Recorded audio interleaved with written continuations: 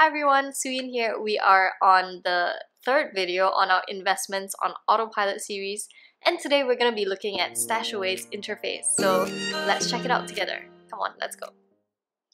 Alright, we're logging into the Stashaway app and you can log in with your fingerprints so that saves time.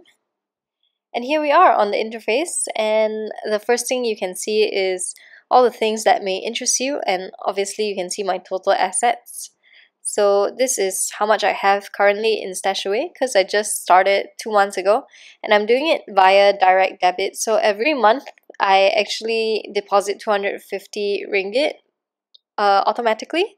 So yeah, that explains why I only have 500 ringgit at the moment. It's a good start.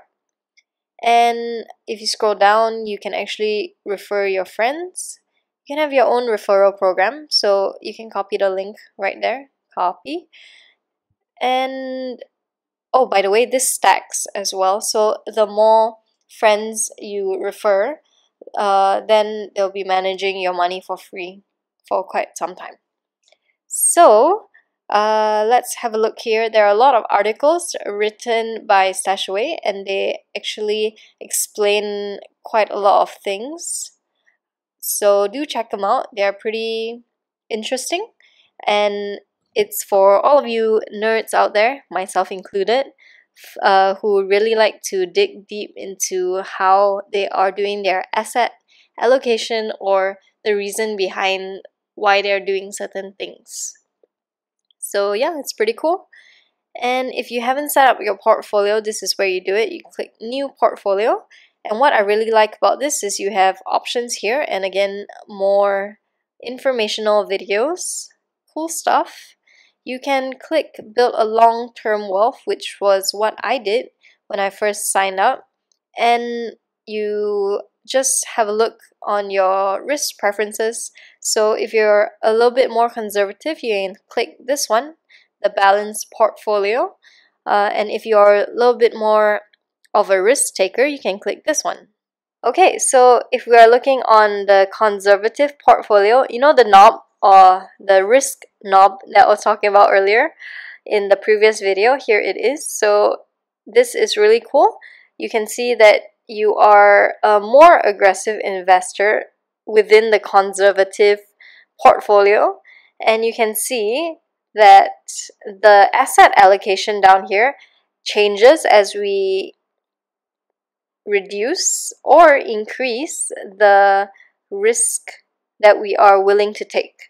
So a more aggressive conservative portfolio has 45% of its assets in the equity sector, so in the stock market. And this is the US stock market.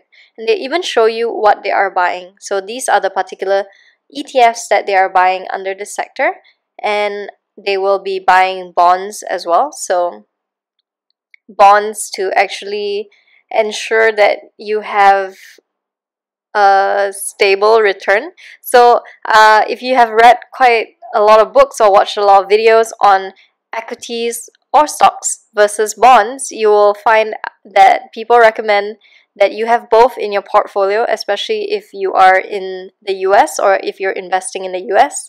So your portfolio is diversified and they have a rule of thumb that's pretty interesting. They say if you are um, what was it again? If you are 20 years old, you should be having 20% of your money in bonds. And as you grow older, uh, with each year, you add an extra percentage to the amount of bonds. So it's just saying that as you age, you should be having more bonds in your portfolio. But I think it really depends on the person. And like for me, I prefer to hold more equity than bonds. So here we have, oh, you can see that they have changed uh, this up a little bit. It's international equities now. And they have a European ETF here. Pretty cool. Alright, and obviously they have commodities as well. And they have this in terms of gold. So if you choose this uh, conservative portfolio over um, this portfolio, which is the risky one, you can see that this allows you to actually go further and the allocation is quite drastically different. You're 72% in the equity sector, and I don't see any bonds. Ah, there are no bonds. Okay. So only the lowest in terms of the risk scale, the lowest of the risky index. Oh my god, I don't even know how to say this. The most conservative portfolio in the risky uh, risky portfolio that's so terrible um, you can start to see you're holding government bonds so have a look and see which one is you and then you can proceed to continue. And obviously if you change your mind you can alter your risk preferences along the way as well. So if you can see here I have made my decision already but you can adjust your risks right here and you can do it all over again. So that is pretty cool as a feature and I wanted to show you about the deposit feature as well. You can set up a direct debit and you can change the frequency. One tip that I'm going to share with you that I did not include in my previous video is that there are transaction fees when you deposit and you when you withdraw your money. So watch out for that. Right now I have it on a monthly basis but obviously the transaction fees stack up.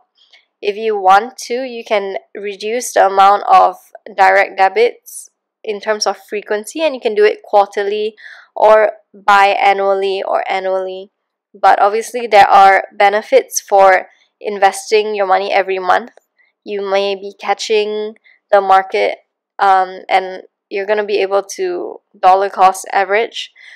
Uh, if you invest your money once a year, you run the risk of buying at one particular price. So there are costs and benefits to this as a method as well. So what you want to look at next is you can withdraw your funds and uh, this is going to cost you a transaction fee as we have mentioned before in foreign exchange terms and the cool part about this, which I can't really show you, is this transfer feature. Ken, or the country manager for Malaysia, he shared this feature with me. I thought it was pretty cool. If you have two portfolios, let's say you had another portfolio for achieving your life goal, which is also pretty interesting here. You can choose a life goal and work towards it. So you can have several portfolios at the same time and let's say you are done with that life goal and you wanted to transfer the funds from one particular one particular portfolio to your general investing portfolio you can do that. And the cost is absorbed by Stashaway which is another fantastic feature that they uh, that they offer to us as investors. So that's very nice and what else? I wanted to show you this uh, this part this part's really cool. So you can see generally how much I've been depositing but what you want to look at here is um all account transactions. Nope not that one. You want to look at Stashaway index and you can apply a filter. You can look to see what they have bought and it shows you exactly how many units that they bought for you and at what price. So yeah, it's it's just really cool. You can track that and you can also see their sales if they have sold anything recently. And another cool thing is you can see your dividends. What they do is they automatically reinvest our dividends and I, I believe you can opt out of this feature. I have not found where is that option yet.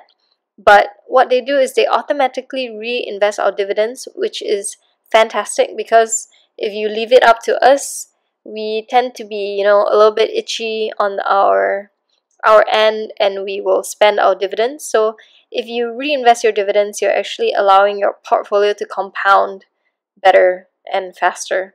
So they also give you your dividends and this is accounting for the 30% tax withholding.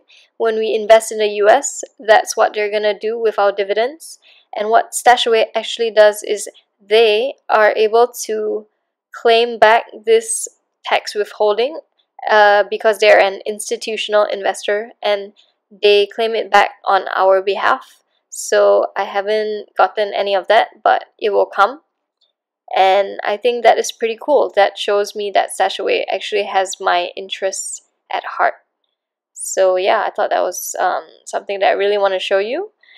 And yeah, that's it. You can check your performance. So far, not much is going on here because I have just started in terms of investing, it's going to take a little bit of time before you actually start to see your returns. And as we know, the, the market right now is super volatile. So it's an interesting time.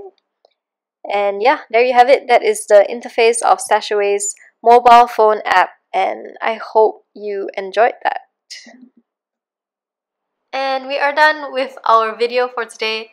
That is the whole walkthrough of Stashaway's app. If you have any questions, leave them down below. I'll do my best to answer them. And if you have not signed up for Stashaway, I hope this video was informative and maybe even encourages you to give it a go as it's quite beneficial, very accessible, and yeah, I would love to see how how we can grow our money in this particular platform.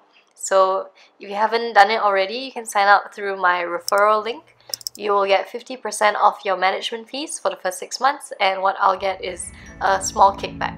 And that will really go a long way in terms of supporting this channel and I really appreciate it. So thank you so much. I'll see you in the next one. Take care